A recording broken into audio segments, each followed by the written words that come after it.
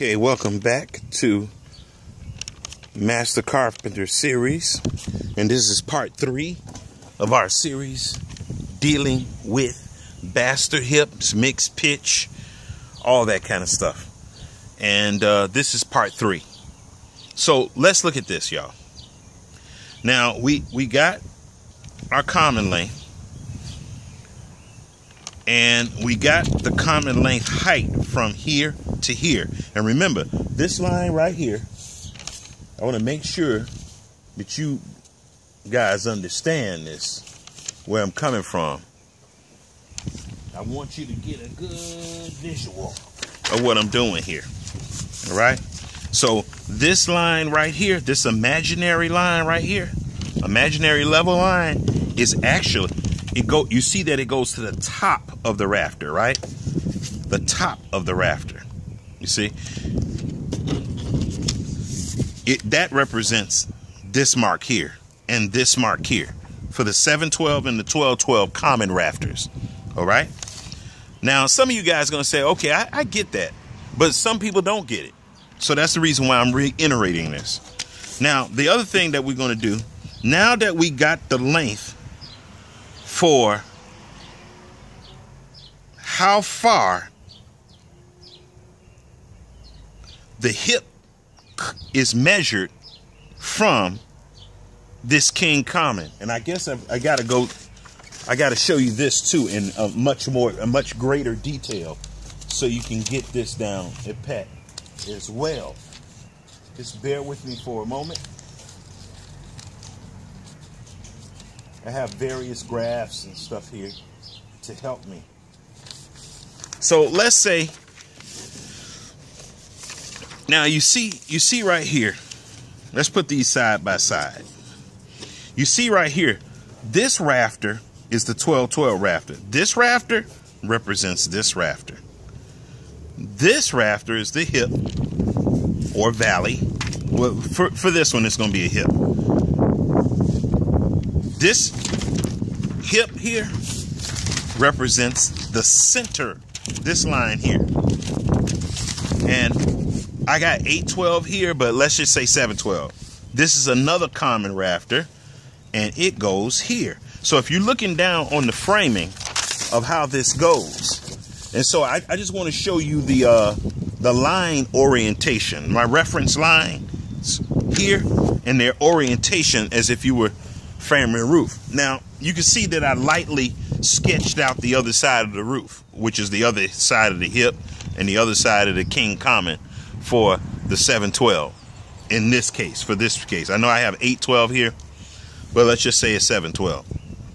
Now, this center line right here, we got a center line right here. I want to show you something because I want you to know how I'm measuring these there's a line that goes right up the center, an imaginary line that goes right up the center of the hip. That line actually is this line. Now, this line here represents this inside line. You see that? So it's this line. It's not this one, and it's not a center line. That's why this one don't have a center line on it. So this line right here represents this line, this side of the 1212 rafter. So in order to get your 11 and basically 7 eighths, 11.81, you're going to butt your tape or you're going to you're going to you're going to find the center of your uh, span for your 12 12 side. And after you find your center, you go three quarters of an inch each way, and that's an inch and a half. That equals the width of the rafter. Okay? And then after you do that, you get your three quarters of an inch from three quarters of an inch on all the way out, which is 11.81, which is 11 and 7 eighths. That's how you know where the center the center of your hip is going to go. Not the side. The center of your hip is going to go on the 12-12 side. Because on a on a on, on a pitch like this with a 712 on this side and the 12-12 on this side, the hip is going to sit on the same plate height as the 12 12, not the lower pitch. It's always going to sit on this side with the higher pitch. So I just wanted to get you. And so all my measurements, all my measurements for all my rafters are coming from this point right here. But I'm going down the side of the 1212 and I'm going down the side of the 712, but on the hip, I'm going right down the center of the hip to get the measurement. That's very important. Now, yeah, that's very important to have an accurate hip. Let me just say that. So now that we got that out the way and that's understood, if you have any questions, let me know. Write me, contact me, email me, whatever you have to do. And uh, and I will answer any question that you have. Now, now that we have the length. So now look at this, y'all. I want you to look into this drawing here. And you can see that there's a triangle here. We know we have solved for this side of the triangle because that side of the triangle is the run for the 1212. We know we have solved for this side of the triangle because this is the plate run that the jacks are going to set on. Okay? the jack rafters going to sit on. Some people call them jack, somebody, some people call hip rafters, whatever. You know, different terminologies. So now this is easy here. All we have to do is do the Pythagorean theorem to figure out this line length. The run for the hip. That's all we have to do is do the Pythagorean theorem. So what we're going to do is this. we're going to do this. I, I want to make sure you guys can see this calculator, the numbers on this calculator. So we got point. Let's see. Let's go recall. Recall one. Okay. That this number is already in the calculator. So what we're going to do is square this one. And we press this button to square it. Then we plus 0.984 plus 0.984 and we square that number. Then we press the equal sign. Then we press the square root sign. And now we've just found out how long the run is for the hip. You see that? So, just a moment. It's one point one three nine and this is feet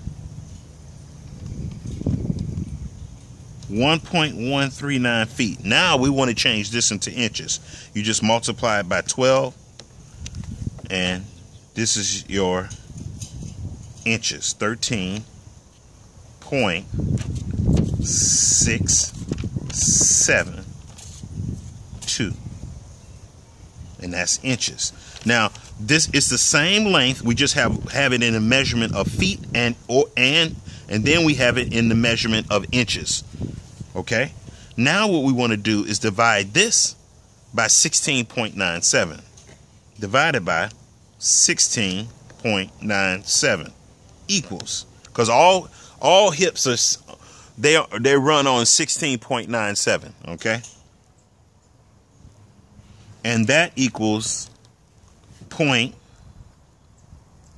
eight oh five. Okay, and what we do sixteen point nine seven, and we just circle that just so we know what this this number right here 0.805 represents and we don't forget or so you don't forget. Now that we have discovered we have figured out this entire triangle and and that gave us our hypotenuse for the run for the hip. Now, what we can do is figure out what pitch the hip is going to be on. And the way you do that is, is real simple. You take this six,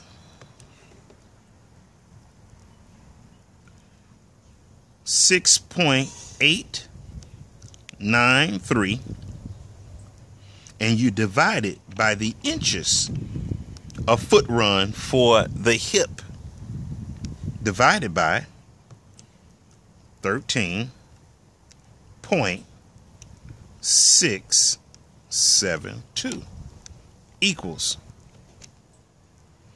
Then you take this number and multiply it by 16.97 times 16.97 equals 8.555.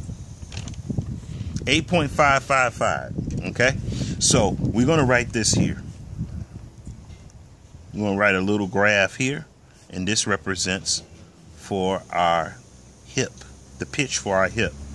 8.555. Of course, this is 16.97. Now, all we have to do is do the Pythagorean theorem to get the uh, the angle, the length per 16.97 run of 8.55 rise. And so we, since we already got that in the calculator, we just square that number. 8.555 squared plus 16.97 squared equals and then square root. And so the answer is 19. 19 inches. So for every 16.97, the roof goes out, is going to go up 8.555 inches. And that's going to be for each division of that is going to be 19 inches. So what we do now is we take this 19 inches and we multiply it times 8 point I mean 0.805 times point eight oh five equals. And our and our answer is 15.29 8 so 15.298. And that's inches. All right. Now we want to change this. We want to change this into feet. You just divide it by 12. And that's 1.274. Okay. And that's feet. All right. Now, so we got the length of our hip, and I'm showing you, I'm going to show you this graph again. The length of our hip goes all the way. Now, you see this one going right to the corner, but on a mixed 12 pitch, this this hip would actually be coming to be swinging to this side. It would be swinging to this side. It wouldn't be going straight to the corner because that would be 45 degrees. So the hip would be swinging closer to the 12-12 side. So it'd be sitting on the same wall plate. It wouldn't be sharing going right on the corner. All right. So now what we do, we want to figure out what the length of this rafter is here. Okay. Which is very easy because 12, 12 is 16.97. Okay. 16.97 that means for every foot that you're going out and going up, the hypotenuse for each one of those divisions of 12 12. 12 inches of rise, 12 inches of run is 16.97. And that's that's that's why you know that's why you know that all these hips here are on 16.97 because whenever you have a 90 degree corner, yeah, you're you're basically just dividing up a 90 degree corner basically so you just go with 16.97 so um, I don't know if you understand that but if you have any questions about that just let me know or if that's not clear let me know drop me uh, drop me a, a, a message in the message box and, and I'll I'll deal with it promptly Okay, now the other thing. So we got 16.97 and we want to multiply that 16.97 times 0.574. So let's do this. I think 0.574 is still stored in the computer. Recall 1. Yep, it is. Times 16.97 equals. Okay. Our answer is 9.7. Let me see.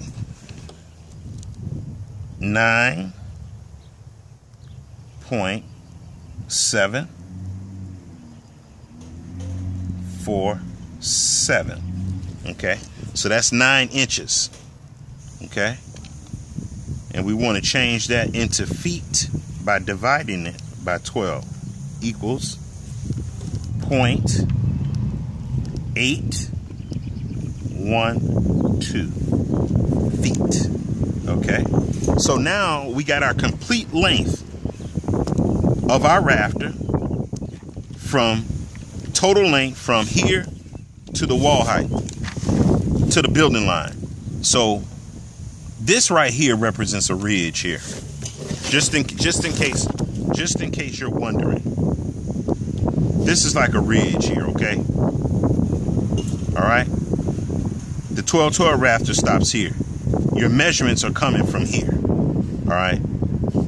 This is the complete length of the rafter, and that represents this measurement here, from here to here. All right? So we got the length of our common, we got the length of our hip, we got the length of our king common. Somebody could start cutting these rafters here while we figure out get our staging all built up or scaffolding built up, uh, ceiling joists all rolled and and blocked in, and plywood up on the roof or however you want to do it. And so, and then what we do is start getting prepared so we can cut our jacks. Now, I want to show you something here, but I want to show you in part four of Master Carpenter series mixed pitch, bastard pitch, roof framing, and design.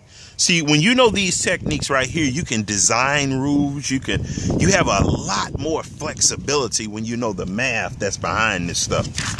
Uh, and you don't have to rig up stuff and all of this kind of stuff. You don't have to you don't have to jerry rig up all these different things. See, when you know these techniques here and you got the concepts down, you can really figure out problems. You could troubleshoot really quick because you know what to, you, you know what you're doing in essence.